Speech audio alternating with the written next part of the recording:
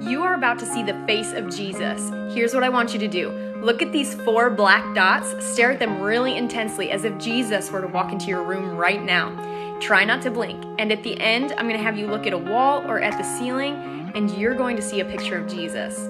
Speaking of Jesus, one day you will meet him face to face, and you're either going to spend eternity with him in heaven or you're going to spend eternal life in hell. And if that makes you feel a little afraid in your heart, then go watch the video that I pinned in the comments so that you can have full confidence. All right, are you ready?